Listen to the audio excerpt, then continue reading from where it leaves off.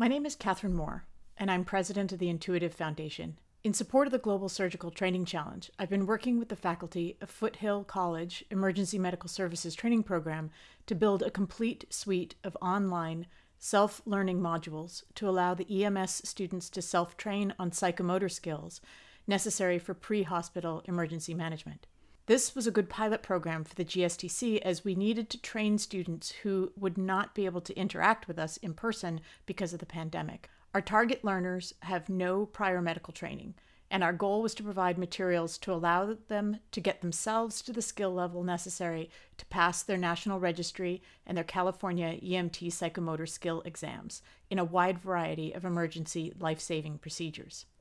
We put this course in the same Appropedia platform that we are asking you to use, and we have been training the EMTs throughout the pandemic using these modules. We administered questionnaires to the learners throughout the initial deployment and improved and expanded the module in response to learner feedback. To study the effectiveness of these modules, we evaluated the students' clinical skills at the end of the program with the same instructors who had taught the course pre pandemic and evaluated students using the same nationally and state approved credentialing criteria that we used for previous cohorts of learners who had learned entirely in traditional in person training. There are many modules within our EMT program course. The one I will focus on for this example video is the Airway Management module.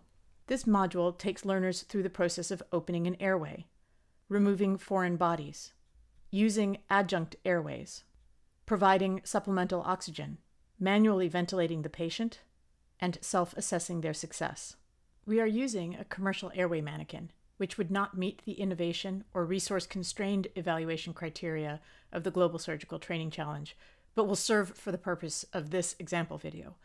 The key internal features of the simulator that we use are airway structures with an occluded airway in a neutral head position, which may be opened with manipulation, and inflatable lungs. It also includes an inflatable digestive system structures with correct anatomical relationship to the airway that allow the learner to ascertain whether their ventilation technique is resulting in proper ventilation while avoiding improper stomach inflation. This feedback is a critical part of the learner's self assessment using this module. To access this module, the learner comes to the Airway Management landing page from the top level NREMT skill set course. There's a video demonstrating all aspects of the skill with key points highlighted for easy review. There's a timestamp allowing the learner to easily jump to material of interest, and a list of expanded skills for more learning, as well as the list of equipment that you need to practice these skills. Underneath the video is the information about what you will learn in this module and what type of learner it is for followed by the didactic content associated with each subskill, as well as links to outside supplemental material. For more in depth content on each aspect of airway management, for example, proper and safe assembly and disassembly of oxygen tanks, there is a subskill video as well as links in this external content. This allows the learner to focus on one aspect of the skill and to practice until proficient before combining all of these smaller skills into the larger skill of competent airway management. Our self assessment materials need several different ways to assess and allow the learner to generate their own feedback as they seek to practice and gain competence in each aspect of the skill.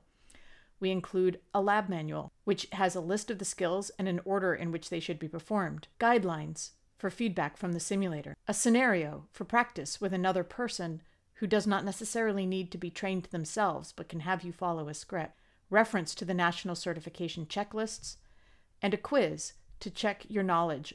If all of the steps are completed, the learner will be able to familiarize themselves with the equipment, workflow, and the physical aspects of using this equipment to manage the airway of the patient in the field.